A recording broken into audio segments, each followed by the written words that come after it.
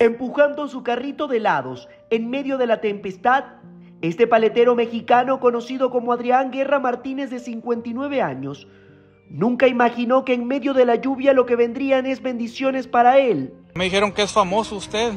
Ah, sí, dicen. Sí, ¿por qué? ¿Qué pasó? Pues salí en video. ¿Sí? Y sí. Él solo salió ese día a trabajar para llevar el pan de cada día a su humilde hogar.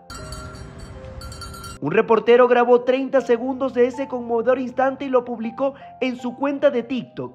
En solo horas el video explotó con millones de reproducciones y cientos de mensajes de personas que querían ayudar al paletero.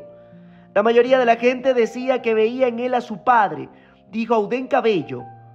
El reportero, quien además de grabarlo, abrió una cuenta de GoFundMe para apoyarlo económicamente.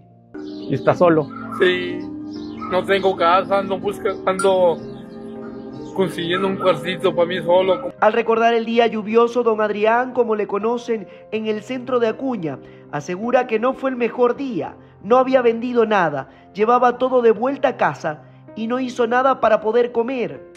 Y, y aquí iba para entregar el carrito. Si ya iba a entregar, pues no vendí nada, llevaba todo. Con los días el periodista lo esperó. Luego de comprarle una paleta le ofreció ayudarlo. Me gustaría entrevistarlo, hablar con usted. Sí, está bueno.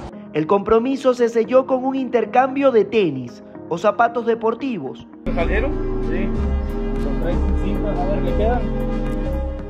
Después vendría la mejor parte y la que cambiaría su vida. La comunidad en Internet logró recaudar 10.400 dólares, más otros donativos adicionales, los cuales fueron entregados a él. No había comido nada todo el día. Y muchas gracias. El paletero vive solo en una pequeña habitación rentada. No tuvo hijos, quedó huérfano de niño y solo cuenta con el apoyo de unas primas y un hermano. Bueno contaba, porque ahora tiene toda una comunidad que lo respalda. Ahora, para la gente que quiera venir a, buscarlo. ya me conoce, ya me, ahí, ahí la zapatería. Cada mañana se levanta temprano, camina hasta el depósito de paletas, carga su carrito y se ubica al lado de una zapatería llamada Los Tres Hermanos. Ahí lucha por sobrevivir. Carlos Moreno reporta.